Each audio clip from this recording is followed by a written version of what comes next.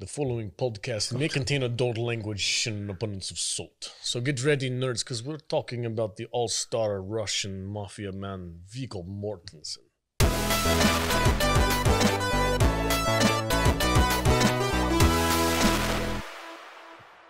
Welcome to the Salty Nerd Podcast. Today we're talking about Viggo Mortensen movies, and we're not talking about those cheesy Lord of the Rings things. We're talking his Russian assassin movies. That went full freaking Arnold for Yeah, a minute there. I don't know what you're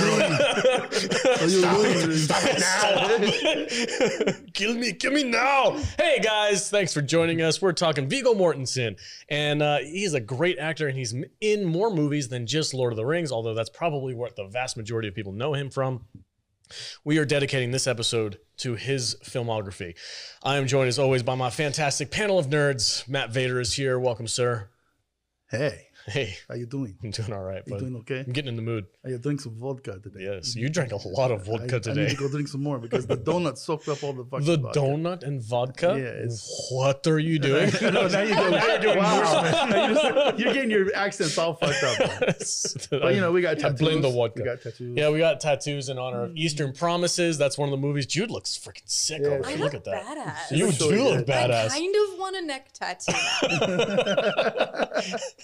Kadish is the only party pooper who's not wearing tattoos today. I'm very anti-tattoo.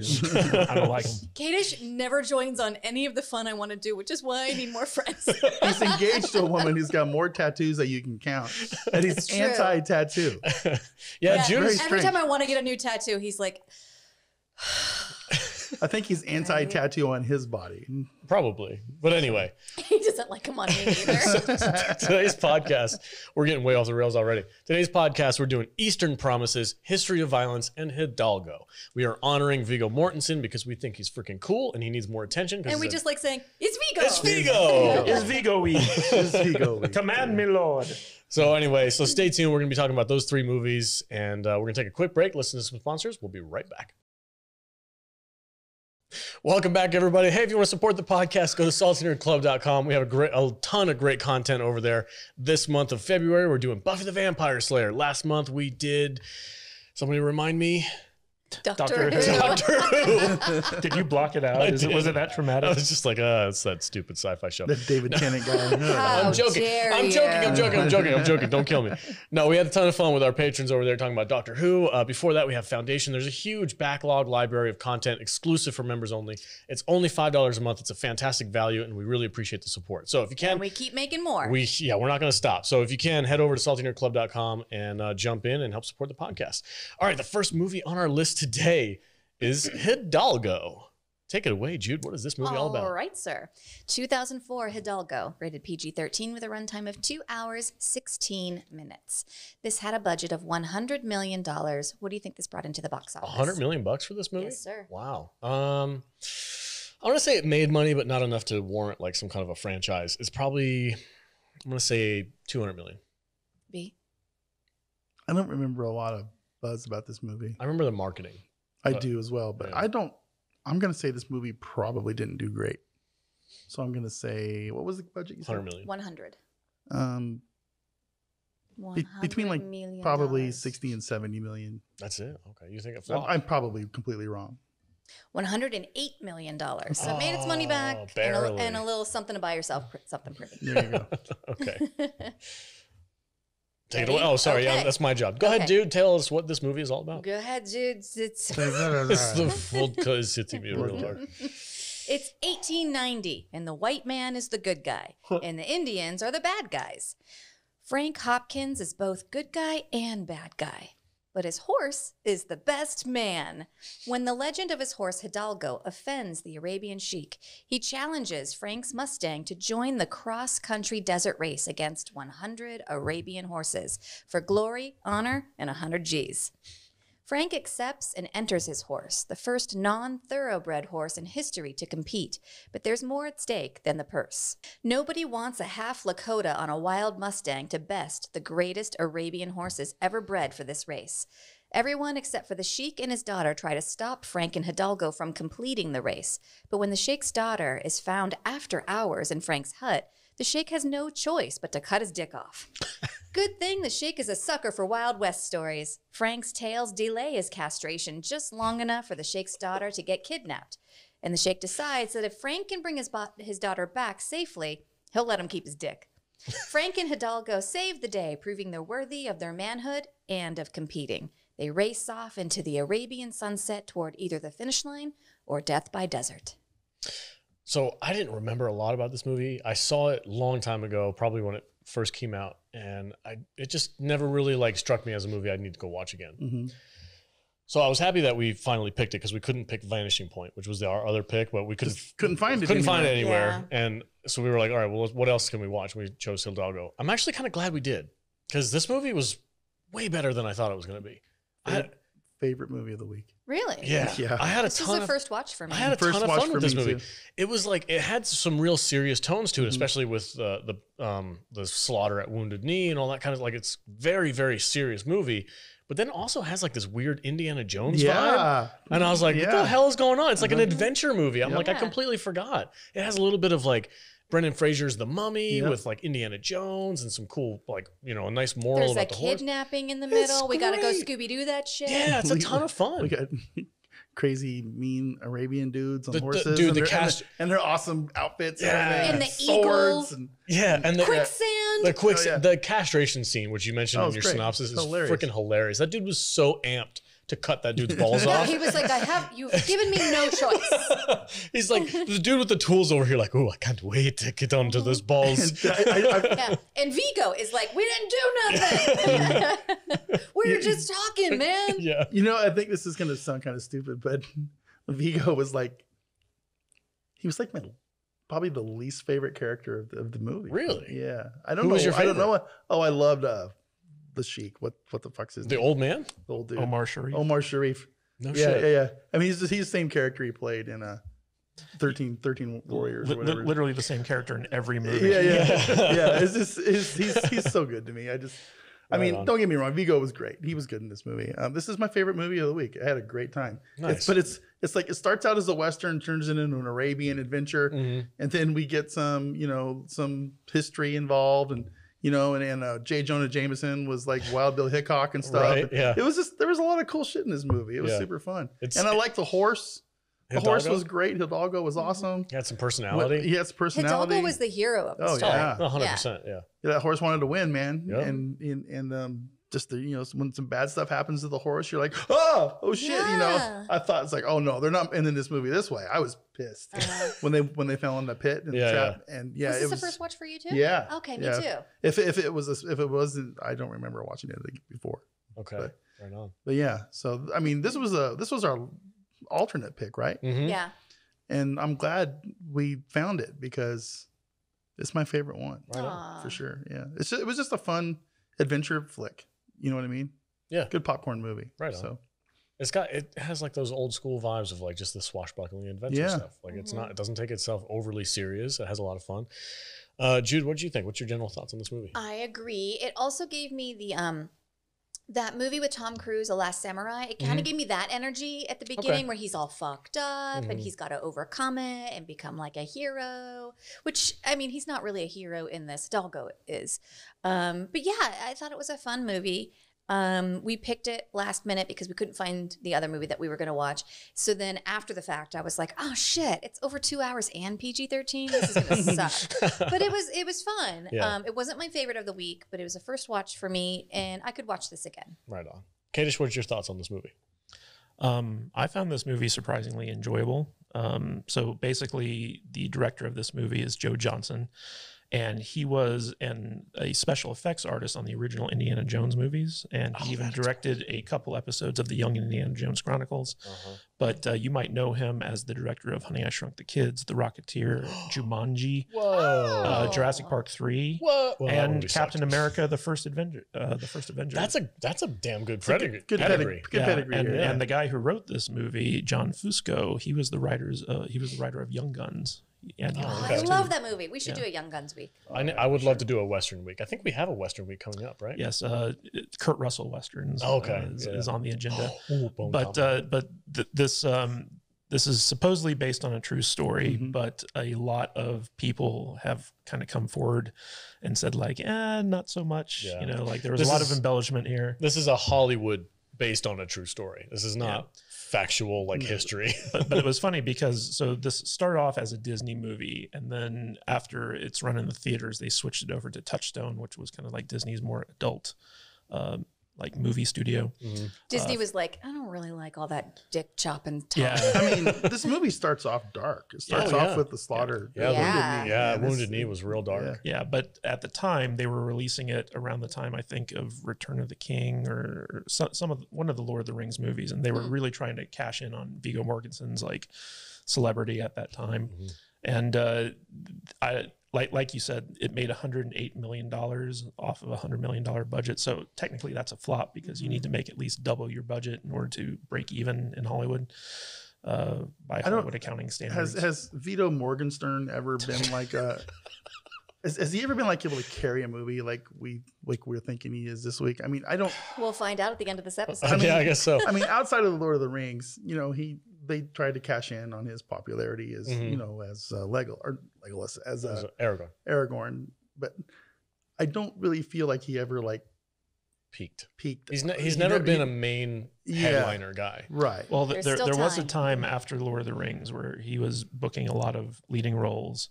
And I think he, you know, basically just cashed out and Mhm. he just kind of like does passion projects now. Like his latest one was Green Book, which he Mhm. won like Mm. an Oscar for. So Yeah, he, I mean he's a fantastic actor. No, he's a good actor. And, and I, I think yeah, one I of the love him in everything, but Yeah. I don't know that I like the movies But- but- that he's in. speaking about acting, so the opening scene of this movie, uh, he's put against a um, C. Thomas Howell. Mhm. And C. Thomas Howell, you know, I, I like the guy, but he's not a good actor. and and when he when he starts doing like his whole acting thing against Viggo, it's just like it's like night Yeah, and day. that made me think that was the opening of Yeah, this movie, and yeah. that made me think that this movie was going to be completely different than it en- ended up being. but that's like a Joe Johnston thing where like he kind of balances like the Spielberg kitschiness with like you know like serious stuff. Mhm. Um, but in terms of like the Indiana Jonesness of this, like there's a scene in here where it's Vi- straight out of Viggo Indiana has Jones. like Viggo has like a knife and like he's facing off with like a, a Mhm. bandit who has like a sword and he just throws the knife at the guy and kills him. And it's it's one of those things where he, it, that was basically the scene with in Raiders where Oh, yeah. he- Yeah. like he pulls out the gun and just shoots the He guy brought with a a big sword. gun to a knife fight. Exactly. So Joe Johnston has like a big long history with with being involved with Indiana Jones and, and stuff like that. And so he really wanted to kind of bring that to this movie. And I think it shows like there are like it, it is a good adventure movie and it's something that's pretty family friendly. Like even Mhm. the castration scene was kind of played for laughs. It's all laughs. good fun. yeah. Yeah, yeah. I, I, I mean, I mean, like they were threatening it, but at the same time, it, it wasn't like graphic or anything like I that. mean, it wasn't even as intimidating as the Ice Pirates castration scene. No. Yeah, no, it was it was tongue in cheek. Like they they talk about, oh, this is what's going to happen to you, and you can see the dude in the background with the tools and there's stuff. nothing in this movie that's as intense as Mola Ram pulling a guy's heart out of his chest. Oh, Right. yeah. You know, Yeah. or nothing like that. Yeah. You know, so yeah, it's just a Yeah, it's actually a very family friendly movie. Yeah. And in Mhm. fact, like towards the end, when it looks like Frank is about to like shoot Hidalgo or oh, I was Hidalgo I was so upset dude. because you know like he just collapsed and it looked like he wasn't going to make you know the rest of the race. Like I was I was tearing up. I was I, was like, I audibly was like, please don't don't shoot No. the I horse. was Don't. like, no, not after all of this. and, and, and like like Hidalgo got like a, a stake through his like front like leg, and like he Uh-huh. was still able to like race Kept to the on end. trucking. That's freaking Hidalgo, dude. That's a, an. American Frick- Mustang. frickin' Mustang. yeah, Yeah. bro. But tough apparently, ass horses. uh, Yeah. apparently the actual like historical Frank and Hidalgo, like um, according to his own like diaries, Frank left the horse in Arabia. Oh, really? yeah, so like that whole thing of bringing him back to America and letting him run free, I was like, yeah, that was made up for the movie. Of course it was, because they have to have a happy ending. But they Damn said it, his Frank descendants are like roaming around in the, the wild packs right now. So I don't know, whatever. But most historians have said that the uh, Ocean of Fire race could never exist because, like, any horse that you take on that race, no matter what, would die. Mm-hmm. And they're like, people just didn't do that. so, so like, th- there's a lot of controversy over, over the historical accuracy of, of All this movie. in doing research for this movie, the only thing that I can say for sure is that Frank T. Hopkins existed. Yeah. that's, that's all. I even went on Audible because I There was, was a horse named Hidalgo. yes, at one point in time there was a painted Mustang named Hidalgo. Well, a, a lot of the stuff about Hidalgo was from oral history that Mhm. the uh, screenwriter uh, John Fusco uh, found when he was interviewing like uh, Indian tribes and stuff like that. Mhm. Because a lot of this came from like the survivors of the uh, Wounded Knee massacre, Mm. and uh, that would pass down these tales, and that's how he found out about the Hidalgo and all this other stuff. Yeah, and and uh, Hopkins actually did work for uh, it either the Ringling Brothers or one of the s- traveling circuses at that time. Well, it, was- it was Probably- Wild, Wild probably Bill's. Bill Wild Bills. Yeah, Yeah. well, he that was also a real thing. yeah he also worked with the Ringling Brothers or or somebody I can't remember. I don't know if that's the right one or not, but I did I did some research and so this beginning part where they kind of introduce the characters and he's doing the traveling circus thing that did happen. That was his Mhm. character. He was that person. He went out and did all these like adventure western shows and stuff like that. So there's a little bit of truth to it, but I think they definitely took some liberties with the whole Oh, Arabian race for sure, for sure. Um, but, But- but this is a long movie and in a way like it it's fun it, it calls back to like I, I think vader said the original uh, mummy with brendan fraser indiana jones It- Mhm. it, it, it's like one of those like um, turn of the century Yeah. adventure tales If you want to and, have an adventure night, and, and throw it, do- Hidalgo it doesn't on. have any like supernatural elements in it Nope. but but it's still like very entertaining and and you you, you learn to love the horse I like I like the characters in this movie. Yeah. I was gonna say to the supernatural thing, like you are right. There's no like heavy-handed supernatural elements like there is in Indiana Jones, but I think there's there's a bit of mysticism a about little that bit of horse. indian my- mysticism Yeah, there's a Yeah. mysticism with the Indian culture, which I I love Native American culture. I think it's I, I think it deserves as much attention as it can possibly get. And this movie was so tragic at the beginning, man. I Mhm. felt so bad, and I'm like, Jesus, man. Like history's rough. Mhm. And if I can recommend anything, I'm I'm listening currently to this um, uh, Audible book called uh, "Son of the Morning Star," and it's all about Wounded Knee and what actually happened. And it's Hmm. taken from journal entries of soldiers that were there and uh, interviews with Native Americans that were at at the um, you know at that time were alive. And it's freaking horrific, dude. History is hardcore. Like some dark shit back then, dude. But, but but it is kind of funny because like the the whole thrust of this movie is this race across the desert, and most of the movie is is based on that and and the struggles that Frank and Hidalgo go through mm-hmm. during the race. But then like the movie stops like right in the middle to have like this kidnapping subplot. Yeah. where, where like he has to go and rescue the princess. It princess. totally forgets about the race for like a good 40 minutes. We put it on pause. yeah. Bigger things are at stake. Because they're like, I think they said like, hey, once you get to this waypoint, you're gonna have a day of rest or something like that. I think that happened already, though. no, that happened. That the, the kidnapping started when they got there. Yeah, that's what I mean. so he Like, had to that spend, they had that to was spend the their day rest, of rest. They Yeah. had to spend their rest day at rescuing the. Yeah, it And was like, I mean, honestly, if they had only taken his daughter, that would be one thing. But they took the history of the breeding Yeah. process, and that needs to be addressed right now. do you want to talk about the rampant sexism in this freaking? This I, I mean that was the culture. I know, I know, how it is. hundred Yeah, percent. he Yeah, was like my lowly daughter. yeah. And when I heard that, I, I asked Katie, so I, I was like, did he say lowly or did he say lovely? And he was like, nope. Nope. Lowly. He said lowly. And I was like, oh. And we're like, he, the the main like bad guy prince or whatever came in, and she's like, "How dare you come into my father's tent?" And the dad was like, "Shut up! Shut up, woman. Don't speak to a man in my tent like that." I was Uh-huh. like, "God damn, dude, times were different." Um, yeah, and the sheik had had like three of his sons die, and so he was down to like his last daughter, and he's like, oh, if only she had been a boy. It's funny because he's like, he's like, "You're my treasured daughter." Also, get the fuck out of here. Yeah. It was- Also, I'm going to marry you off as a fifth harem girl. yeah, yeah. And I think what did she say? She was You like, get the honor of being his fifth bitch. yeah.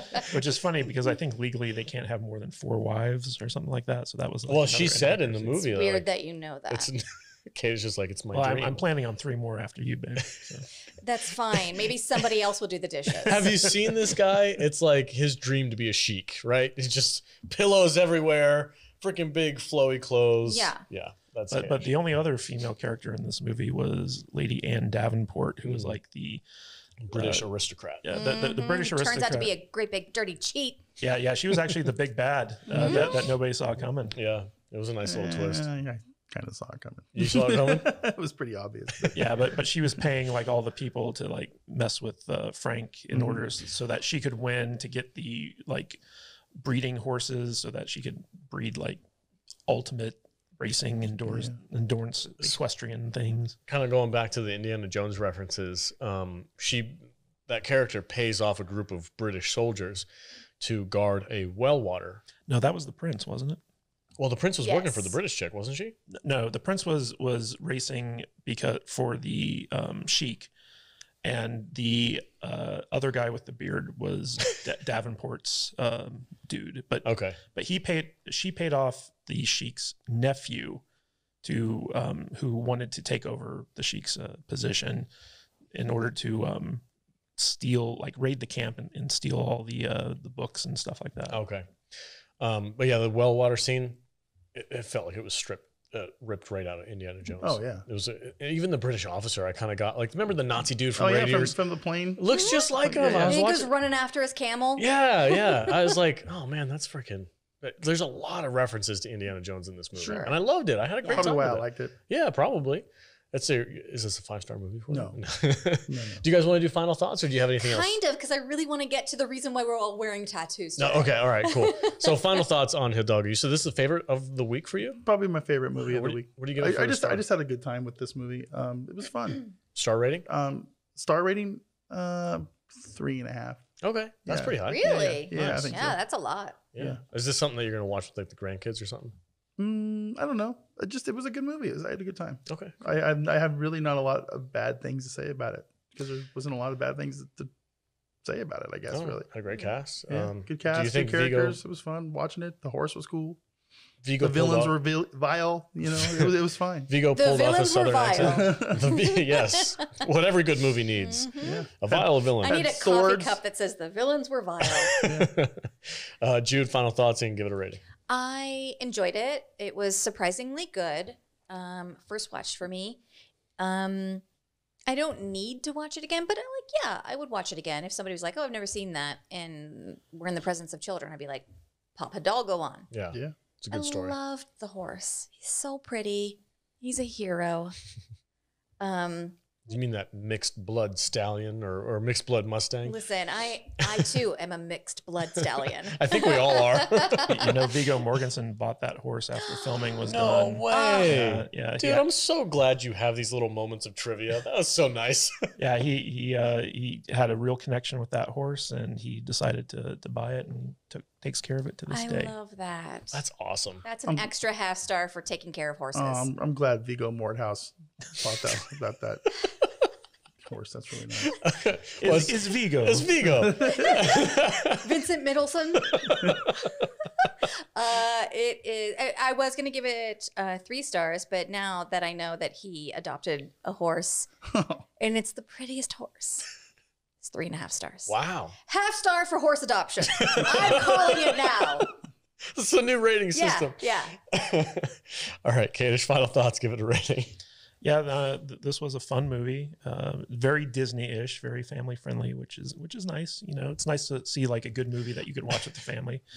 Um, and Viggo was great in it, and the, the horse was great, and uh, I really enjoyed it. So I'm going to give it uh, three almost castrations out of five. Nice. Uh, yeah, I'm with you guys. This is a solid three movie. Um, I had a ton of fun watching it. I haven't seen it in a long time, and I, I didn't realize it was as good as it was. I wish it would have done better because I think it deserves more praise. I would definitely suggest people go check it out if they haven't seen it already. Um, I love the horse. Viggo is a fantastic actor. I think he pulls off a southern accent fairly well. Mm. He pulls off the cowboy yeah, vibe. he did. So that's, I mean, that's not the easiest thing to do, especially. Uh, I don't know what I was going to say, but anyway, uh, ton of fun, three star movie. Go check it out. All right, that's it for Hidalgo. Next on our list is History of Violence. Stay tuned. We'll be right back. Welcome back, everybody. Hey, if you want to support the podcast and get some awesome merch in return, go to saltynerdstore.com and uh, grab some of our t shirts, mugs, and stickers and other stuff like that. Uh, we have a lot of really good stuff out there. This is my mug. Uh, I don't I'll have to make this one available. Uh, Kota That's Conradi. the, that's the older version. Yeah, that's an older one. But anyway, uh, people, super awesome people like Kota Conradi have uh, Salty Nerd Podcast mugs. Super awesome. Super awesome guys. Super, uh, you 'cause know, he's a super cool he guy. uh, texted me and said, uh, "Hey, can I have a mug? Is that all right with you?" And I was like, "Fuck yeah, bro." Yeah, uh, Has he butt dialed you lately? would you like to? Would I you gotta- like to like like like me to hand deliver it? I'm trying to get Kadish to go to Norway on our honeymoon. I, I know where the shipping information is now. I know where Kota Konari lives. It's all pretty fucking cool. Uh, I, I, I hear he knows the royal family. yeah, I hear that too. That's pretty exciting. Mm, yeah, he neglected to mention that. I'll ask if he if the Queen of England wants a He's freaking mug. he's a big deal. Would she like to sip her tea out of a salty nerd podcast? Oh, that Can- would be can you so imagine? funny. Holy Oh, we'd be so big overseas. We're getting more and more. Anyway, I think all if right. that happened, we would all fall Listen, down man, dead immediately. we are fucking huge in Estonia. Okay? We're in the top charts in the freaking European, you know, podcasting world, Yeah, the man. Kazakhstans love us. Cheers to our our friends I'm overseas. by my own podcast. Yeah. All right, anyway. Shit, this one looks good too. SaltyNerdStore.com. Wait, wait, wait, infatuated. wait. no. oh my goodness. We'll get to that. That's the last movie we're talking about. Today, right now, we're talking about history of violence. Finish your drink. Jude, finish your drink and then We're still talking. history of violence. Fuck. I don't didn't know. even- 2005. It's going to be a fun movie to talk about. Are you done drinking, Jude? Does it matter? No. Go ahead. Take it away. What is this movie I all can about? drink and talk at the same time. Oh, God. 2000. No, I'm, sick. I'm kidding. 2005, History of Violence, rated R with a runtime of 1 hour 36 minutes. Had a budget of $32 million. What do you think this brought in? That's it. 32 million. Uh, I don't know. Probably 54. I don't remember this being very popular. B? Um, again, I don't think this did well. So I, maybe it broke even. 32 million. $61 million. Wow. Yeah, Nice. so it almost du- doubled its budget. Nice. Okay. What's it all about? All right. Tom Stall runs a diner and loves his family. Joey Cusack is the super murdery brother of Philly crime boss William Hurt. Stall is Cusack. Cusack is Stall. When the man in black comes to Tom's small town for a reckoning, the man Joey was in Philly collides with the man Tom is today. In order to protect his family from the crime lord brother who now knows he's alive, he drives back to Philly for a beer and to make peace. When his plan backfires, he dusts off his old killing skills and then heads back to Millbrook for some meatloaf with his wife and kids who are now terrified of him. Discuss. No, they're not terrified of him. They're they're into it. You think so? Oh yeah, Will they bang on the staircase? Uh, dude. Okay, first off, listen. I said There's- wife there's- and kids. There's there's two things I need to get off my chest. here. Yeah, go for it. Okay, Viggo Mortensen does a lot of sex scenes in these movies this week. All right, every single one of them are weird. They're the most awkward fucking sex scenes I've ever Um, seen in any movie in my life. the worst sex scene was the one of him and his cheerleader wife. yeah, weird. That was so fucking weird. Weird. Immediately, it happens like five minutes into the Oh, movie, yeah. and I was like, "This is." It's I'm like- like, embarrassed for this movie because it's It so was- fucking weird. They did not have a good sex coach or whatever they, they're called. Intimacy In- coach. intimacy Intimacy coach, yeah. yeah. coach. Yeah, mm-hmm. it's mm-hmm. very strange, awkward sex scenes in this movie. She's like, "We didn't get to be teenagers together. Ugh. Just stay right there." And she comes out in a te- in a cheerleader outfit, and immediately she like lifts her her skirt up. She's like, "Hey, look at this pussy!" and, and then- and it's so weird. We're along for the fucking ride, and There's I no cut. I did Like, not want that. The camera stays in, like on the edge of the bed, just watching them, and Yeah. I'm just I'm Yeah. watching. it. I'm like, what are they? Are they doing this for real? And it's Yes. like, So It's the- awkward. and Vigo's character is like, I don't remember this in high school. and like the whole time they're doing cringy things like saying, "Ooh, you're naughty." Oh my yeah, God, I yeah. am naughty. The dialogue You're is- my daddy. my parents are in the next room, and I'm like, I don't want to be a part of this. So it's the- fucking weird. there's there's that scene, and there's a scene in the next movie which we'll Dude. talk about, which is even more awkward. it's We'll so get there. weird. But It's we'll so get weird. there. But there's there's another thing in this movie. At the very beginning of this movie, all right, before before we even see Viggo, right? Mhm. There's a scene in the movie where where the bad dudes that start this movie off that he kills in the diner, where they they're at a hotel, Mhm. okay? They don't want to pay for the room, and people have seen what they look like. So one guy goes in and he kills everybody in, in the in the in the lobby. Mhm. As you do. As, as you do, right? Because they're on If the land on criminals. They go full dust So till dawn. Then yeah. he comes back and he goes, he goes, You did it? Yep. And say, hold on, I gotta get a drink. So the other fucking guy goes back into the to the hotel hotel uh lobby Yeah. room, right? Office, whatever. Office, whatever. And he knows people are dead. The other guy killed everybody. So what does the guy do?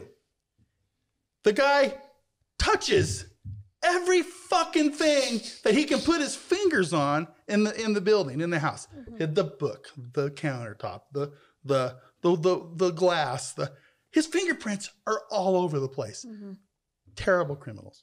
It took me out of it Really? immediately. Whoa. Yeah, it was weird, man. If you go back and you watch that scene, you're gonna laugh Hmm. because the guy goes in there knowing people are dead, knowing it's a crime scene, knowing this shit went down Yeah. to get a glass of water, and he literally touches everything in The the, thing room. is, is that It's they're not very good criminals. It's, That's kind of the point. it's just awful. It's so dumb. It's just like Well, unless No- his nothing finger. to say about murdering the was little girl. was- oh yeah, yeah. But listen, On top of what that. you don't know It was just because you're not in the mob is that you don't have fingerprints. They burn them Yeah, off It was when just you uh, come of age. And it's like if you, um, you know, some people have a bar mitzvah. The mob has the burning of the fingerprints. Mm-hmm. Yeah. I'm making it- this all up. I know. Yeah. Um, I didn't really realize that, but Go, they did. when you go, go back and watch it, you'll laugh. they shot a child. yes, Yeah. they did. As the movie started out Yes, real dark. We, we, we they, like- they, they set up He's that these like- people are He's shitty. like, shh, it's okay. It's totally okay. I'm just gonna put this gun against your. yeah, it just, it just that kind of stuff just completely took me. out of Okay, the movie. it was, alright. it was weird, man. It was. Just, uh, I've never seen this movie before. This is my first watch. yeah, me too. I was totally expecting like a like a early version of John Wick or something like that. Like history of violence. This man who lives in a small town who has a history of being this badass, you know, murder assassin. Mhm. I'm like, oh, that sounds cool. That's not really what we got. Like, No. not at all. It was kind of weird. And Can I tell you something? you can tell me anything. You I want. hated the fuck out of this movie. Did you Yeah. really? I I hated did- it the yeah. whole way. Whoa! I hated it the whole fucking way. Oh my god, I almost hit you really hard. I'm with you. um, from the awkward sex scene to the very end, I was like, this is horrible. This whole movie is fucking horrible. I Mhm. hate it. It I hated horribly. his son. yeah. Oh, his son was a. Oh. Yeah, I I hated his wife. I hated. I, oh my god, I hated his brother. His William Hurt is the most nonsensical, non-believable fucking Mob mob, boss. boss. brother. what was he trying to accomplish? Everything he did was like super exaggerated and like insane. Okay. So he got a William Hurt. He got a um, Best Supporting Actor nomination for that role. No Terrible. shit. All right, so we gotta explain this a little he, bit. he, he was in it for less than ten minutes. I'm was so awful. angry right now. so Viggo Mortensen's character, who goes by the name uh, Tom John- Stall. Tom Tom Stall, Stall. Yeah. Gets When he's con- not Joey Cusack. gets confronted by an old nemesis of his, and uh, they call him out as being Joey Cusack. Well, let's set it up really quick first. So the guys I talked about in the beginning, they go, they they need they're gonna they need money, so they go to Tom's diner, to rob it, Yeah. Mhm.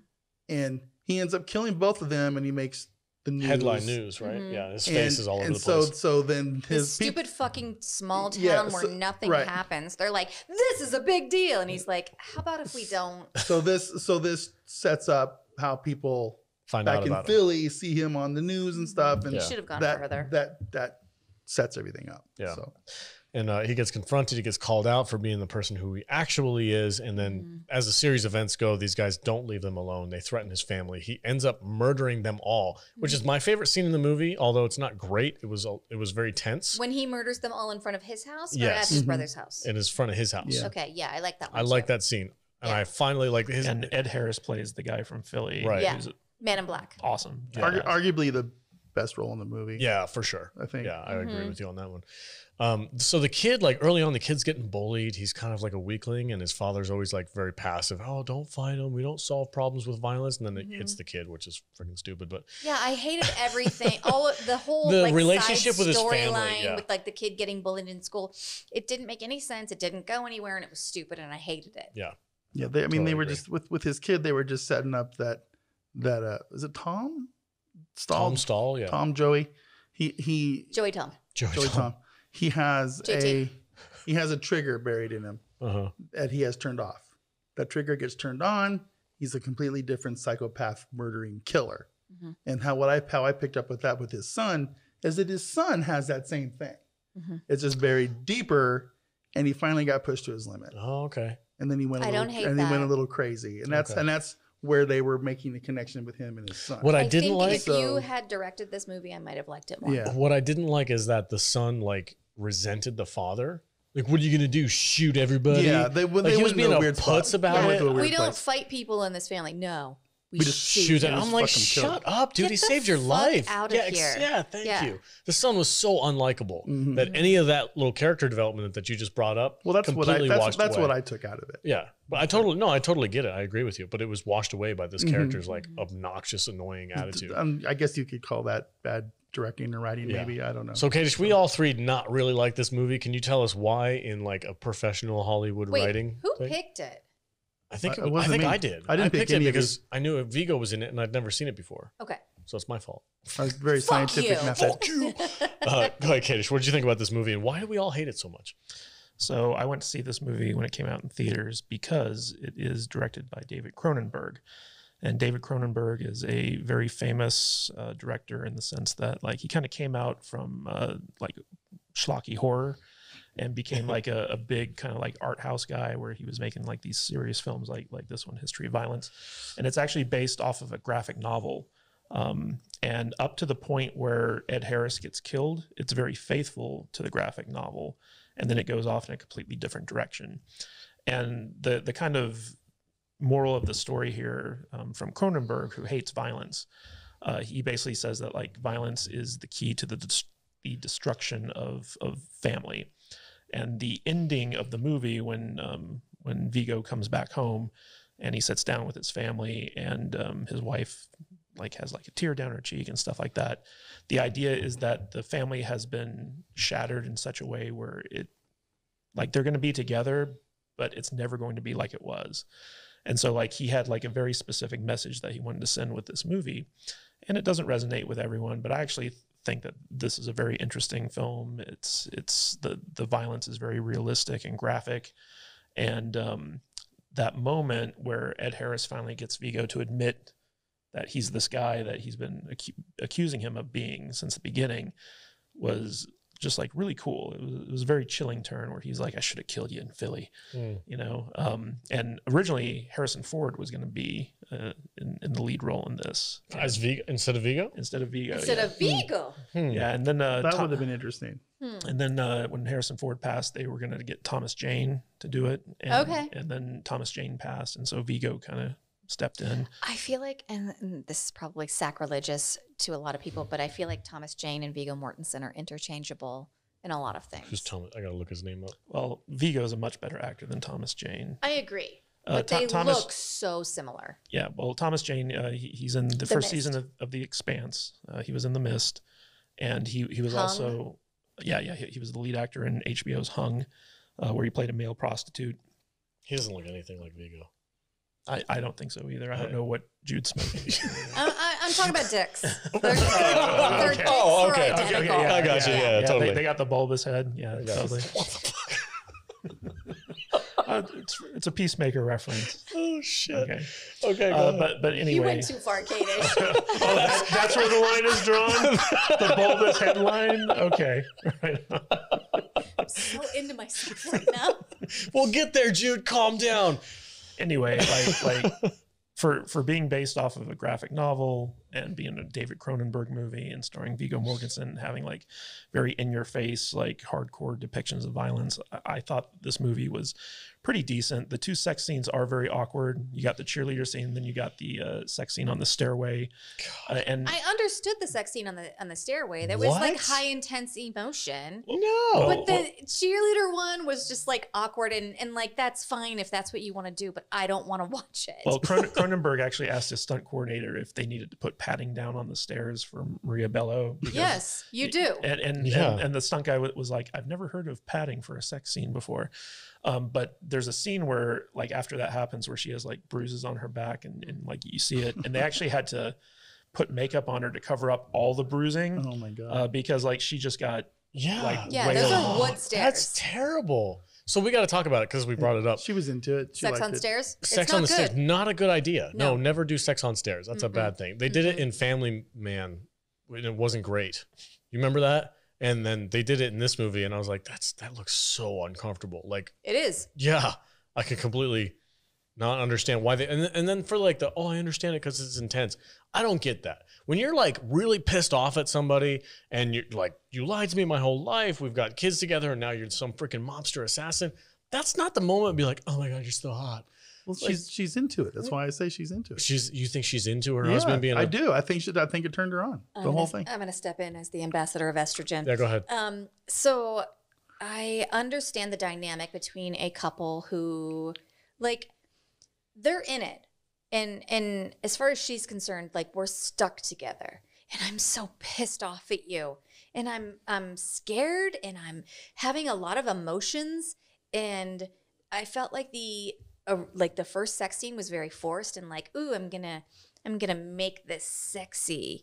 And that that was very forced and like it felt like they were a couple who's very kind of like for lack of a better word boring and so when all of this shit happens and all of these emotions hit these humans they love each other and she's so furious that she feels like she hates him but at the same time she loves him and he's pulling at her and it's violent and then all of a sudden i understand the emotion of just having so much within your body emotionally that you don't know what to do about it. So you have to get it out and then you fuck. Yeah, and the- I'm, I'm not being sarcastic or silly or like making a joke out of it or anything, but like I I got that. Like sometimes your emotions are so fucking heightened that you have to get them out of your body. And the only thing that makes sense is Sex on a putting staircase. no putting it aside with the person that is your person and just fucking getting Well, that's called- getting it out. It's called angry sex, and it's great well, most of the time. al- also the minute that they're done, she gets up and Viggo kind of reaches out for her, and she's like, sickened. "No, Yeah, she's Don't touch me. don't touch me." the emotions have come their fruition and as soon Yeah, as it was did. over as soon as it was over like she she had that out of her system the the roller coaster ride that was up on the hill of these emotions and now that it's over she's deflated and she's sickened i got that Hmm, that's fascinating. I thought the cheerleader thing was way more believable than this freaking oh my staircase. no, they were both, God. both scenes are cringy. i mean they're both i guess believable but i don't fucking want to watch you role play with your Yeah, mate It was weird. what, what did you guys think of the the final scene where Viggo goes to William Hurt's house, who plays his brother, i hated and all of ba- that basically kills everyone?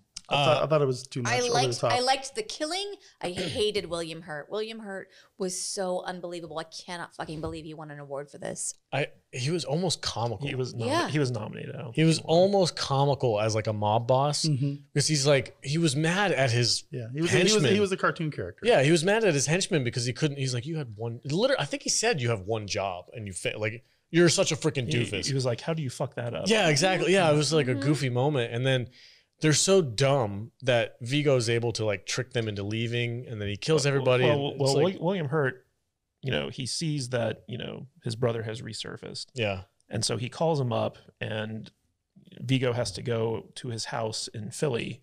And he's got like this big mansion, and he invites him in, and it comes down the stairs, and it looks like everything's hunky dory. You, you know, he's hugging him, you know, Mm. saying like, "Welcome back, Yeah, brother. you I know, thought like- you were dead." like mobsters do. Yeah, and takes him into his, his immaculately uh, decorated study, and they have like a little exchange, and then like his henchmen try to kill him, and then Viggo just goes off and murders everybody, Yeah. yep, including his brother. Yeah. Yeah. and then goes home and has dinner. Yeah, I really did like the the little scene with his daughter who brings him a plate at the dinner table. Yeah i thought that was sweet. Yeah. I was like, because she doesn't know what's going on. No, She doesn't she's a little girl. Yeah. She was sweet. and it was And- like it was that now- family moment where like you know no matter how jacked up things can be we still are we still are a Mhm. family and, And I, like the horror on his wife's face that's like, You are not the man I married. I don't know what to do with this. We Yeah. have two children and a life, and now I am trapped. Well, it, End scene. it, it was funny because the minute that William Hurt came down the stairs, um, Jude was like, "Oh, wouldn't it be funny if this was an episode of Mythic Quest?" I saw I thought the same thing I'm like where's CW at Mhm. anyway all right let's do final thoughts on history of violence What do you think V Uh, I, I didn't like this movie. no I thought, I thought it was really silly. how many stars you give it Uh, two stars, I guess. Yeah, two. okay all right no final thoughts no, No, nothing. not really. It just it was just it just wasn't set up good from the get go, and It, was- just awkward and just the scenes didn't really run together for me, and I didn't really buy into the characters. And Okay. y- you know, um, you guys, I from the ending I took away is that the family was like, "Oh, cool, we're a mobster family now." You know, so yeah, I just okay. I'm not into it. I didn't like it. All right, Jude. Final thoughts. Come to me on the day of my daughter's wedding. Yeah, Um, I hated this movie almost from the get go, and then it ended, and I was like, "That was a complete waste of time," and I hated it. Um, if anybody ever tries to make me watch it again, I will probably get violent. Um, it's I guess it's not bad enough to be a one star crap fest, but it's not much above. So for me, it is one and a half cheerleader sex scenes um, out of five. Okay. Katie, show about you. So there's lots of things that I like about this movie, uh, especially Ed Harris's performance. Like he steals every scene that he's freaking in. He's got like that dead eye uh, makeup Mhm. going on, and the first scene where he kind of confronts Viggo in the character's diner, uh, while he's sitting at the counter, he's not wearing pants. Like, like when they were filming it, like Ed Harris just was in his tidy whities uh, at, at the at the counter, and he was doing everything he could to make Viggo crack up and and Viggo like ruined so many takes because he just couldn't look at Ed Harris without laughing. And uh, the two of them actually became pretty good friends on this movie, and it was just kind of interesting to see like their dynamic uh, in, in this film kind of like evolve. And uh, David Cronenberg, you know, he's a very talented director in my book. Uh, he's made some really messed up movies. Uh, this movie, uh, I remember when I saw it in the theater, I was kind of disappointed with with how it turned out upon upon rewatching it, that disappointment hasn't gone away. Um, so to me, it's a solid two stars out of five. Okay. Uh, there's things I liked about this movie. I'm not really sure if Viggo Mortensen was the right cast for this because he always seemed he always seemed reluctant. Whether when he was like the pleasant dad from the small town, it worked. But as soon as he went and turned into Joey, like I didn't see a transformation. Like he never went to that like dark part of his psyche and like turned into the freaking psycho killer. Mhm. I never saw that. I just saw like a reluctant dad who was like kind of good at killing people. I disagree because I Really? feel like that that first ep- the, the, that first scene where he leaps over the counter and he's shooting he shoots like the bad guys Mhm. Immediately like I've never watched this before. I didn't know what the story was. I had no background background information and immediately I was like he's somebody else. um so like the whole time before like up until he was like I should have killed you in Philly I was like he's Joey, right? He's Joey. Is he Joey? He's Joey. He's Yeah. totally Joey. So like I I don't find fault with anything that he did in this movie.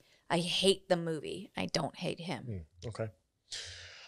I just I felt like he could have gone darker. I felt like he could have been more a little bit more of a menace. Could Bring a little bit more John Wick out of him, you know? Okay. Like you came to my family and you freaking came over here and ruined my Come to me on the life. day my Freaking murder you all. Like I wanted some I anger. I, out of wanted him. some some like uh, you know the, the actor who played Two Face in the in the Batman movies, Aaron Eckhart. Aaron Mhm. Eckhart. I wanted I I wanted to see a flip. Hmm. Yeah, that's what. Yeah, a A more flip- noticeable flip in his- change. Yeah, you, you know you know what I'm saying. Yeah, right? because he went from Harvey Dent, the lawyer, the Yeah. you know guy, and then he goes like, "Were you freaking?" You know, he It's like starts I, want, screaming I wanted people. I wanted to see that He didn't fall into a vat of right, chemical but waste. but I, I feel like he could have like there could have been like a switch flip yeah, yeah, and and Joey come out. yeah, You know I can see mean? that. I can see Yeah. that. yeah. Uh, that's. I think that's what I'm trying to get at. Yeah. Uh, but other than that, I, I didn't hate this movie. I had fun with it. I do agree that both sex scenes super cringy. Weird. I don't know why Mhm. the, the freaking staircase thing was even really necessary. Um, so uh, it's probably It's two. just, it's just where that violence happened to happen. It's yeah, it's uh, two stars. Uh, not great, but I didn't hate it. Um, was it William Hurt? Yeah, William Hurt was kind of comical in this Apparently movie. he He's a mobster. I Oh, the, guess. the, Yeah, the minute he started speaking, the minute he started speaking, Jude cracked up. She was like, "Are you serious right now?" I hated him so much. she, she's like, "Who wrote this dialogue?" And like, who told him to like do that that stuff with his face? Like the whole time he was just like, bug eyes, squint eyes, bug eyes, squint eyes. he won an award. He won an award. No, no, he was nominated Nominated for, for an an award. Academy Award for Best Was it a Actor. Razzie? Is that the All right, award? it. Two star movie uh, for history of violence. I don't know if you want to check it out. I guess you can, but I wouldn't. I wouldn't say go. don't waste I'd, your time. I'd say Just Pass. pass. Yeah. All right. Last movie on our list today is Eastern Promises. Stay tuned. We'll be right back and we're going to talk about that movie. Let me see what it tastes It's like. still gin. Is it good? Why is he doing a Russian accent still? Oi, my. Oi. Dos Vidania. All right. Next movie on our list Eastern Promises, my favorite movie of the week. Obviously, we're all excited to talk about it because we're all freaking tatted up and goofy and having a lot of fun with this. So uh, let's dive right into it. Eastern Promises, take it away, Jude. Okay. Look at that snake tattoo. Freaking strike of the viper. I fucking love this right now. I'm gonna tell my wife. I'm so Dude. I'm so into myself right now. We're gonna get a text message from Just- Kate. and She's gonna be like, "God damn it, Juden got a neck tattoo." I can just say this is an S for my wife. There you go. Yeah. Yeah. Story. Yeah. Yeah. Yeah. This is this is the snake. For Slytherin, right? I was I was trying to make it about you, and I was like, oh, nobody wants to hear that. this is a snake for my fiance, the pendulum. All over her neck. That's right. Oh God. God damn it. 2007, So Eastern need Promises. Pearl necklace, very good. Okay. yeah, just second that bust on face, no big deal. It you calms stupid me. whore. you like it. She come from Croatia. Am I done with my examination? Get the fuck out of here so I Come. can put my clothes Come, on. I'm going to watch you fuck this bitch. make you man. Yeah. Yeah. What's this movie all about, dude? I didn't even get to the budget yet. 2007 Eastern Promises, rated R, with a runtime of one hour 40 minutes. 40. Had a budget of 50, 50 million dollars. What do you think this brought in? I don't know. It's pretty popular. I remember it being a big deal. Uh, I'm gonna say 100 million. I don't know. I don't remember this movie. Um, I'm going to say it broke even. Okay. Just, 50 million. That's it. yeah. All right. $56 million. Really? Yeah. Vader What? wins a speedboat. That's it, man. I thought this movie's like from I don't know. I I always assumed it was a Well, it's- popular movie. It's like it's like I said earlier. I Viggo. I don't think he carries movies that well. He freaking. This movie's dope. Yeah. it's it's okay. I agree. Uh, this was my favorite of the week. Yeah. I thought he was a fucking amazing in it.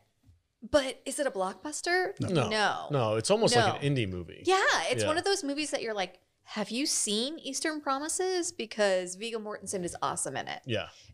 Is it a movie that like everyone has seen? Fucking no. No. Apparently not. 50 million. That's crazy. Fucking no. I know. We're all tatted up in honor of this movie. yeah, like I loved it so much I went and got a neck fa- neck tattoo. We're probably getting laughed at by the Russian mob right now. Too. Seriously, please don't come for us. Yeah, no. We're just nerds talking about movies.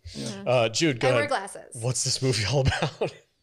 Naomi Watts just wants to find a family member of the newborn baby whose Russian mother died during delivery at the hospital where she works. When she asks her Russian uncle to translate the girl's diary that she found, he reads a little and then refuses to finish.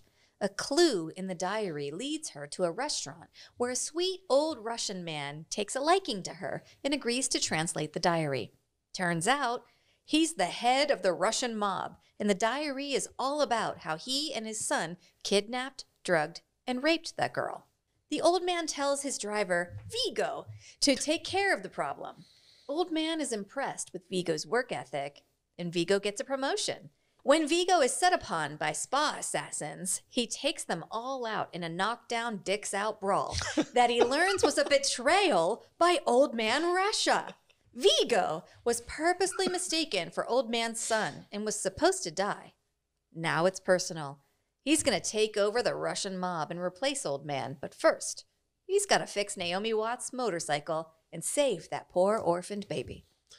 This movie is so dark. Yeah. It is very dark. It's very dark. Like Yeah. just the opening scene with this poor young girl who's pregnant walks into a pharmacy and she's asking for help and she freaking just freaking gushes She's blood. bleeding everywhere. Yeah, it's t- and then you're like, And oh like god. The, he, she walks into a pharmacy and the pharmacist is like, "You want uh, methadone? You have to have a prescription." yeah, And she's like, "Uh, I'm just gonna bleed to death on your floor." And Yeah. he's like, "Cool." yeah, it was real dark. And then the whole the the entire plot is just Naomi Watts trying to save this poor freaking baby, Mhm. Yeah. and everybody wants the baby. I just to need this dead. thing translated, and she goes to the wrong place. to get Yeah. it translated. It's just one bad move I'm going to go another. to the Russian restaurant. See if anybody there knows how to translate Russian. Yeah, it's just right? I, I was. I mean, I've seen this movie and I love this movie, but it's been a minute since I watched it. I forgot how freaking dark this was. Mhm. Like it goes down a, a real dark rabbit hole for a while. Um, Yeah. But the, the Viggo as the driver, assassin, freaking enforcer, dude. I, I am driver. yeah? I'm driver. I drive. so I go straight. I go right. I go left. That's it. That's what I do. I don't do anything. he's, he freaking he's a badass in this I movie, dude. There was that scene where um, clearly, you are clearly more than a driver, sir. so Viggo is kind of like the body the bodyguard to the main Russian mobster's son, uh, Mhm. Krill. What's his name? It starts with I- a I K, I, don't think. Um, but he's Kirill. this kid's like a freaking a complete loser, right? He's drunk all the time. He's he's He's more- also a closet homosexual. you think Par- so? Party boy, Party boy Kirill. Yeah, He likes to Kirill. Krill, whatever his name is. Um, He doesn't matter. and Viggo's Well, constant. well, the whole reason that they killed that guy at the beginning was because he was spreading word Rumors. that that Kirill was was gay. Yeah. Mhm. Which and he he's is. He's like And- obsessed with watching Viggo fuck girls. Well, well, he's in love with Viggo, Mhm. and Mhm. that, that's why. So is yeah. that? Yeah. I didn't get that out I of this didn't movie. either. But okay. Oh, okay. Oh, yeah, one hundred percent. So he's the son of the Russian mob, Mob boss. head, Yeah. and there are rumors that he's gay, and they can't have that in the Russian mob, so they have to kill the guy who was starting the rumors. But in the meantime, like he's totally like enamored with Viggo Mortensen, and he like has him along for all of his adventures. And then at one point, he's like, "Well, I'm supposed to be into this, so I'm going to say that my dad told me I have to watch you fuck a girl."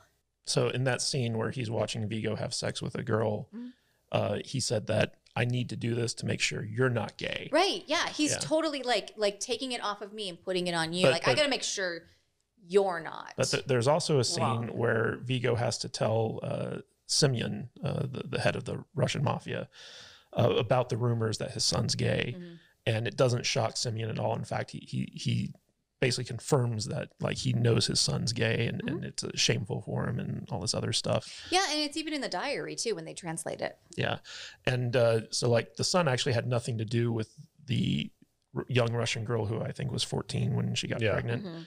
Uh, it was all the father. The father was the one who raped her and stuff like that. And and that's one of the reasons why he's so desperate to get the girl's diary and also get the baby and all this stuff to And kill to- anybody who might have read about it. Yeah, to, mm-hmm. to to erase any link to him. Yeah. And that's kind of the crust of this whole movie is just like the complete eradication of Anybody who might know anything. exactly. Yeah. Yeah. And, and Viggo, later on, we get a surprise little twist that Viggo's actually working for Scotland Yard i- i- undercover as a Russian agent. Deep Well, so, undercover. so Eh, they're in league. He's not working for them. You don't think he's working no, for them? No, he, he's an FSB agent. who- Yeah, he's KG. Well, whi- which formerly KGB. right. but he has a like a partnership with Scotland Yard where like he's infiltrating the Russian mafia and working with Scotland Yard to bring them down because the, the whole story takes place in, in London, right? So they're they're in Great Britain uh, Mhm. while this story is taking place, but he's a KGB agent basically, and at the end of the movie, he basically usurps uh, Simeon's position and he becomes like the head of the Russian mob in, Yeah. in Great Britain, and uh, it's it's completely bonkers. I love it. I thought it was great. I dug it. yeah. Yeah. Like the, he's such a freaking badass I'm in gonna this I'm gonna start doing that that Well, he- finger neck. so thing Naomi people. Watts' uh, uncle, I guess, is Yeah, also so she's Russian. half Russian. Her Mhm. mother was English. Her father was Russian. I think her father's dead or like he left or something. He's dead. Um, so the Russian uncle was her father's brother, Hmm. which is he's still like some kind of fucking I don't know deadbeat member of the family, and I hated him. And he's always bragging Oh. about how he has ties to the He- KGB. yeah, KGB he- adjacent. yeah. He's he's like, I whole was an analyst. He's the whole fucking reason this thing went sideways in the first place. Because if he had just read her the diary, she would have learned what had happened and totally bypassed all of these fucking mob people. yeah. Well, he's a piece of shit. I mean, he's a I- piece of shit. that dinner scene, like I again, I hadn't seen this He's movie in a while. he- He's just he just wants what's best for her. No, no, no, no. Listen, hold on He's like, hey, that's There's the whole this- reason your baby Dude, no, no, died no, inside of you. Well, you know, if you've Sorry, been did I ruin it? Yeah. I was gonna lead up to that, but that's okay. No, there was another one of these dark moments in this movie where they're at dinner and they're like arguing. He's like, "Well, you have a black boyfriend who's not here. Why they always they always run." And he's, she's like, "What the hell are you talking about?" Yeah. And he's like, "Well, that is why your baby died inside you. You're not supposed to mm-hmm. mix race." And I was like, mm-hmm. like audibly, I was It's like, "Oh horrible. shit!" Yeah, it's. Horrible. Like, it was like it took me aback. I'm like, "Holy god, I can't believe they freaking said that." Yeah. that was terrible. He's such an ass. And at the same time, like her reaction, I was like, that's all you're going to do? You're just going to walk away? Like, I think I would have fucking pummeled my uncle Yeah. had he said some shit like that to me. he was a piece of shit. Especially if you had that neck tattoo. Right? Like, don't fuck with me. She needed a neck Listen, tattoo. you, you need to get rid of that because you're going to go to jail. If you don't take it out. Yeah, you look like you just got out of prison. then then it'll wash off in prison, and you'll get Oh, shit. called out as a poser. Remember that time I got pulled over outside of my son's school and I was like Yeah. devastated the entire day? Oh, yeah, yeah. Let him come for me now. Oh, that- not that- with you know this. what? Honestly, not with this listen, neck tattoo. if you had had that when the cop pulled you over, that thing would I have would went have gone to completely jail. different. No, I would have gone to would jail. have been completely different. you would have had your ass He ran. he would have been uh, like, oh, checked. oh shit. Um, yeah, don't don't do that. Also, here's twenty bucks. You'd be, you'd be like, "What strip club you work at?" anyway, I was really surprised. Uh, that moment was a shock moment for me when he said that at the dinner table. I, I literally, audibly, I'm watching it. I'm like, oh, like right? I was taken aback. Yeah. Holy shit, that that guy's an asshole. Um, that was a great moment as far as it's just like shock value. I wasn't expecting that, but Viggo as this this freaking undercover KGB agent who's trying to infiltrate the mob. I was in, dude. Like I'm sold, hook, line, and sinker. He's maneuvering like a political chess player. He's Mhm. over there like messing with people's heads. He's trying to get in good with the father. The son's a piece of shit, and he's like, "Well, it's okay. I'm just here to protect you." You know? Also, he can fix motorcycles. Yeah. I mean, he's you know the mailman used to have one just like it back in the Mhm. day. It's got water in it. That was a joke. He's, He's so cool. Yeah. He's so freaking cool. in. Literally, he's the coolest person. Yeah. yeah.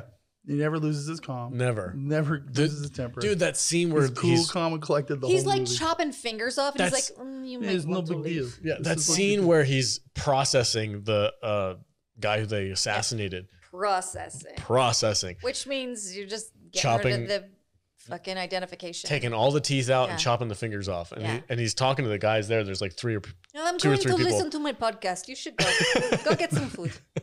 What's funny about uh, he reminds me of a friend of mine that I used to work with. Really? Yeah. Really? No, no, for real. His name's Igor. He's from Moldova. Get the fuck No, out. no, no, I'm not joking. Bro. For real. And Does he have a cool neck and tattoo like um, me? he might have some tattoos. Um, but um, no. Does he have stars my on his friend, my- but chest? what all I'm saying is, is my friend Igor.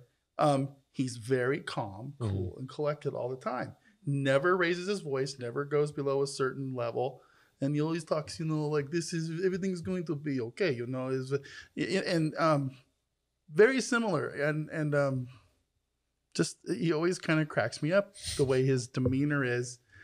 He's your stereotypical Russian guy, you know, and he, and he likes his vodka, and Mhm. you, you know, I see I see like people think like these are like stereotypical depictions of these No, people. that's legit. but yeah. man, I worked not, with- not in the case of my friend because they nailed this shit. It's I worked in security. God, it had to have been ten years ago now. I worked in security over at the at the Mhm. casinos, and uh, I had a another security agent. His name was Potapov, Mhm. and uh, same thing.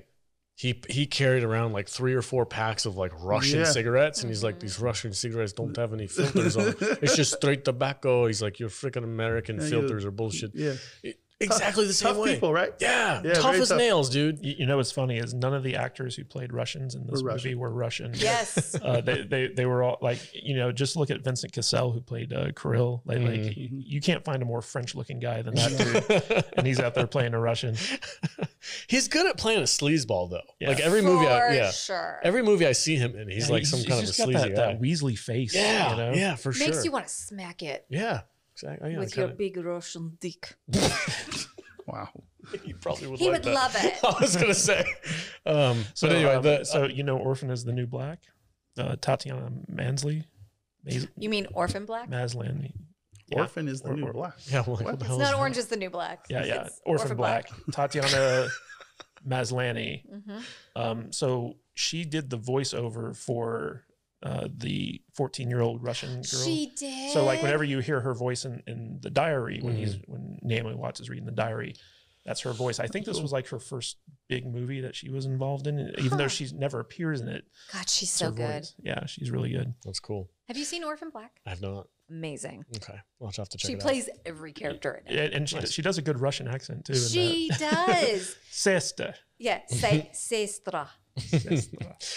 Anyway, uh, the processing scene is one of my favorite ones where he's like, uh, "Did you finish cutting his hair?" Cut his fingers and shit. Yeah, off. cutting his fingers off, and he's like, "You might want to leave for this." And he pulls the guy's wallet out, and he's like, "Did you finish cutting his hair? You might want the six fifty Uh-huh. Yeah. for the haircut." you- you and he and he starts laughing, and everybody else is like, "Oh my god, this guy's serious." And he's like, "It's kind of funny." That was a joke. so uh, I'm very funny. so Viggo Mortensen actually based his character on um, Vladimir Putin.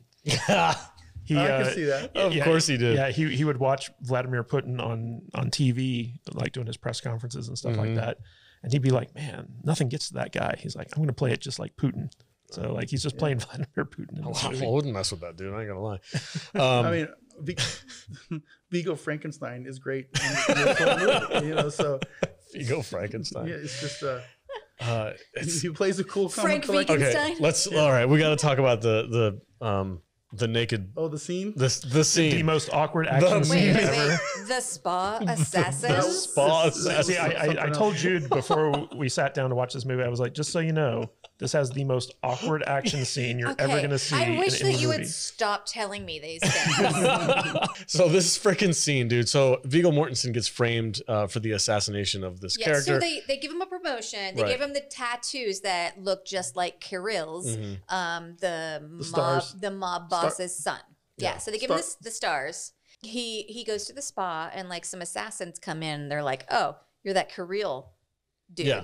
and they try to kill him. And he's like, butt ass "This naked. is not your day." Yeah, and he he murders the crap out of two people completely naked. hmm Yeah, you see everything. Everything. It's, it's And, a uh, very like, awkward scene. Super awkward, but Mhm. also like, fuck, that was badass. I don't Yeah. know, dude. It was Yeah. like if you're he's at a six. It, I'm sorry, I can't talk. He's at an extreme disadvantage in that situation. Oh, yeah. and he still comes out on top.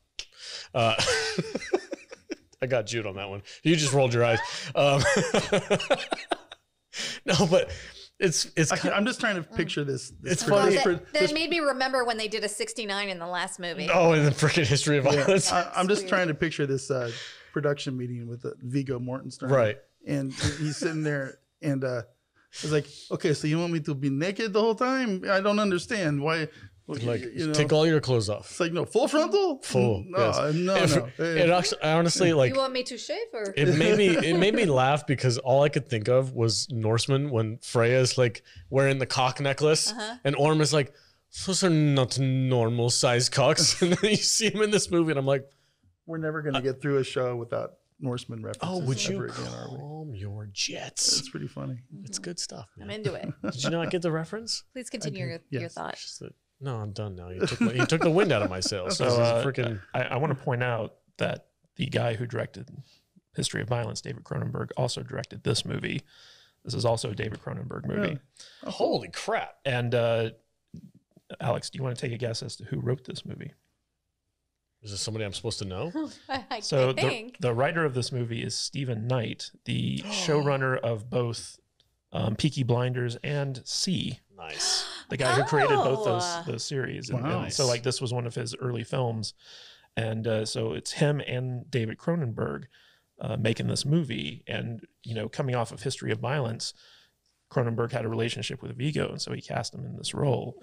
And um, the entire movie is is basically like Cronenberg and Viggo's relationship, like working relationship, um, being like like Cronenberg, like I, I want to showcase Viggo in, in this film, and he showcased V- Viggo Yeah. uh, Viggo owns every single frame of, of this movie. yeah. But like um, when it came came to that scene, so originally it was going to be like he was wearing a towel the whole time, Mm. and they were like, ah, that's just that's just not, Not realistic. very realistic. Yeah. Yeah. And and they were like, Viggo, how would you feel if you just did it naked? And he was like, I'd be good with that.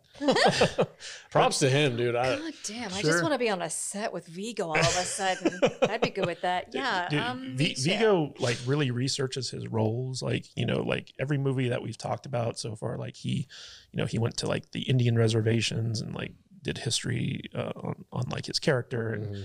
and um, with this movie, he actually like uh, got a translator and went and talked to like actual Russian mobsters. And and his portrayal was so authentic that like um, like when he'd go out after filming, like uh, or if they were on a break, you know, he'd have all his tattoos on. He'd go to like a local bar, and everyone would think he was like the real deal, and like stay the fuck away from him. Scatter. Yeah, That's what, they're, that's what they're gonna think when I go to Starbucks today. When you go to the fucking grocery, I'm going to Whole Foods after this. like, oh, well, well, one of the interesting things about this movie is that so the Russian mob never carries guns with them because it's too easy to get caught. Mhm. So they always have like knives, like like that's like their weapon of choice.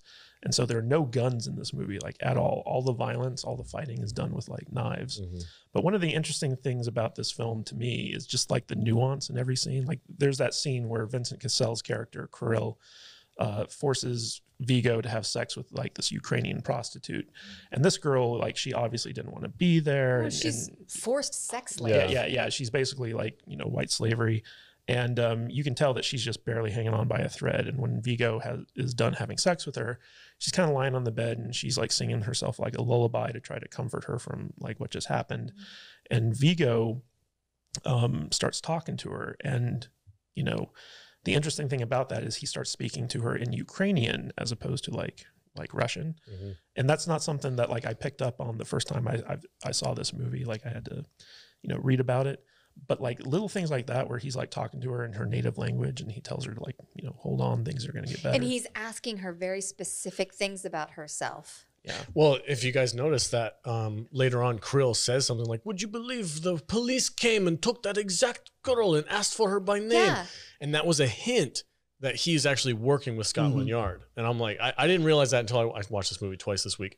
And I was like watching it again. I'm like, oh shit, he talked to her specifically, Yeah. asked her by name, and then reported that then to he Scotland Yard saved her. and saved her. Yeah. yeah, and, and, I'm and like, that body that he got rid of at the beginning of the movie, he actually put a message in Mhm. in there uh, on, on the body. So that he knew Scotland Yard would find it, and that was how he was able to check in with them and let them know what was going on. yeah. So like there's a lot of like different layers of, you know, stuff that that's happening in this movie, especially on Viggo's end of things. Cause for a while there you think he killed like uh, Naomi Watts's uncle. And it turns out that like he you know, just put him in a hotel. Yeah. five star hotel. I like that he was like, um, it kind of validates his whole like I worked for the KGB thing because when when Naomi Watts confronts him about that, he's like, it's okay, he's old school, he knows how it works. He's mm-hmm. like, oh, so like it almost was like, yeah, he maybe he totally did work for the Well, well, KGB. well, he was an analyst really. Yeah, yeah. He was, he's like a Jack Ryan. Yeah. type, it was cool. It was just a Which nice makes me think that like the the neck thing that he did at his uncle was like a an Yeah, undercover dude. like don't worry I'm gonna put you up in a five star hotel. So Don't start doing that to people thinking you're gonna give them a favor. yeah, I know I probably shouldn't. They're No, gonna be but- like, where the fuck is my weekend? But I remember that being in like every trailer for this Oh, movie. and It was- that- that's the most iconic Yeah. shot from this film. and I don't even know why. I don't know what it means. that is not the most iconic thing that happened for It, me. it, it just look, it just looks badass. Reese. Yeah, It's it's just oh, Noah- yeah, it's, Noah- it's really it's really like aggressive. I mean, he that he stabs the shit out of his neck and then he stabs the fuck out of the air at you. it's aggressive. what were you gonna say, V? I was to say uh, Viggo's dick is the most uh, Iconic part of this movie. this movie for sure. Okay, I'm glad you feel that way. Yeah, it's Yeah, just it's just the way it is. how often did you look at it in that scene? you couldn't take your eyes off. I, I- I was I was like I was deep into uh, making buttons, and I'm like, what the fuck am I watching? Oh, it's Viggo Mortensen's dick fighting. Okay, whatever. Yeah, his Yeah. balls are just flashing Yeah. in the air. It's a normal sized dick. There's no big deal. Thank you, Jude. Not the only one who does Norsemen things. God. Anyway, um, I this is I love this movie. I loved It's this so movie. freaking cool. Yeah, it was and really I, good. I don't have a problem watching it more than once. I think uh, honestly, it gets better and better each time I watch it. The, the subtleties come out a little bit more. It's like a it's like a nice whiskey. You know, you sip on Yeah. it, kind of digest it a little bit, get it in your palate. a like a vodka. like a well, vodka's just potatoes. Uh, it's just potatoes. Potatoes. Come on. It's just potatoes. Don't look at me like that. your ass is just potatoes. okay. this is true. Uh, final thoughts. Give it a rating, Vader. Uh, I'm gonna go three stars. That's solid. Yeah, yeah, it's it's a, it's a good watch. It's fun. Right it's a dark movie. Very dark. It's a dark movie. It's not a feel good movie. Um, but I like mobster movies, and um, I haven't watched a lot of Russian mobster movies, and this is a good one. It's good. Yeah. I mean, the sto- the story's dark. Don't get me wrong. It's kind of depressing and and and um, it is what it is. It's but it's a good movie. I like it. It's good stuff. Right on. Jude? Um, if you see me on the street with much more visible tattoos than I have in um, recent years, this movie is the reason. I'm so into myself right now. I have a lot of fake tattoos that I want to be real. Um, I really like this movie. Um, I'm I'm upset because I watched this one first, so like the rest of the week was kind of a disappointment Oh, okay. to me. Um, but I, I really liked it, and I thought Viggo was fucking fantastic in it. Yeah. Uh, so for a Viggo Mortensen starring role, I give this four stars. This was amazing. He was he was fantastic in it. Everything that he did, he was totally believable as a Russian mobster. Mhm. Loved it. Cool. Kadish? Yeah, this was my favorite of the week as well. Um, really solid movie. Um, it's a movie you have to pay attention to. Yeah. And uh, the performances were all freaking great. The direction was great. The story was great. Um, I give it a solid th- three Viggo ball sacks out of five. Wow. Yeah. That's Well, ten there's- balls, dude. There's a, yeah.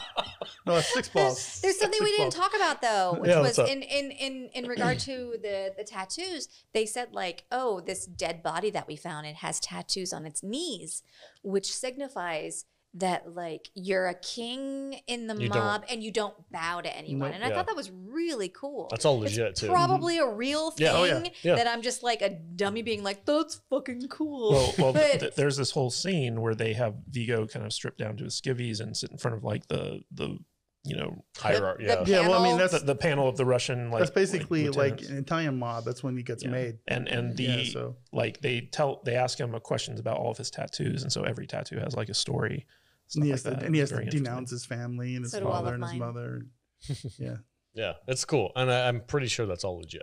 probably. Like he He's- went and talked to these, like Kadish was saying, he went and talked to these uh, Russian monsters Mm-hmm. and was like getting the nitty gritty on how everything worked. And I think it translated fantastic. Yeah. Um, did you give it a rating? You said how many balls? What was it? three ball sacks Three ball sacks.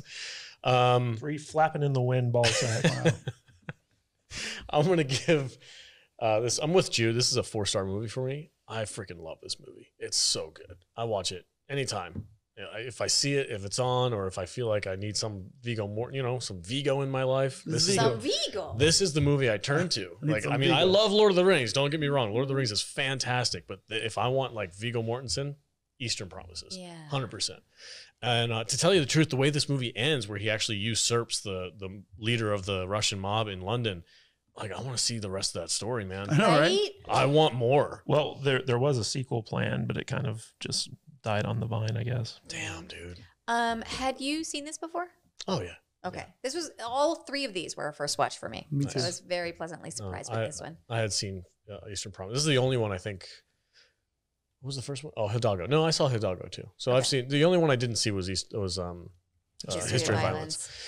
But this movie is great. I love it. I would highly suggest if you're into monster movies, if you're if you just like good damn movies, go check out Eastern Promises. It's uh, it's awesome. All right, that's it. That's it for the t- today's podcast. Thank you guys so much for joining us. Really appreciate it. Um, don't forget to like and subscribe. Let us know your favorite Viggo Mortensen movie. Is it Vanishing Point? We tried to watch it, but we couldn't find it anywhere. Yeah, so if I'd you still like to watch that. yeah, comment below what your favorite Viggo Mortensen movie is, and um, Lord of the Rings don't count. Yeah. That's cheating. That's cheating.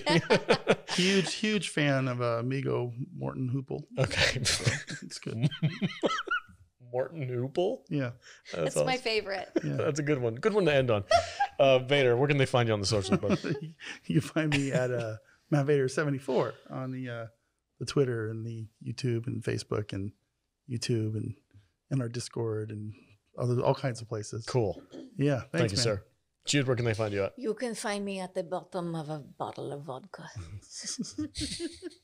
or at I am Jude Juju on Instagram, Twitter, and TikTok. Uh, but uh, I never use Twitter. Uh, you can find me uh, on Facebook at the Salty Nerd Podcast on Facebook. All right. Kadish. You can find me at Matthew Kadish, K A D I S H on Twitter. KadishBooks.com takes you to our Amazon page.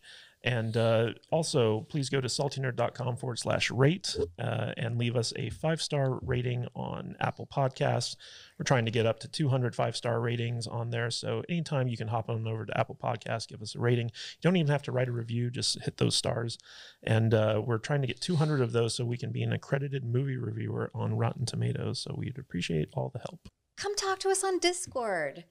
We love talking with you guys. It's a free thing that we're doing. I mean, there are some behind a paywall for um, Patreon members, but uh, just come and chat with us. We love talking to you about like the movies that we watch and the shows that we do. So come on over there and talk to us. We're in it every day. That's right. And on Monday nights, we do live watch parties of our uh, Patreon only episodes. We're doing Buffy the Vampire Slayer this week or this month. Uh, so if you're into Buffy, head over to Discord on Monday nights and we'll be there watching the, the TV show.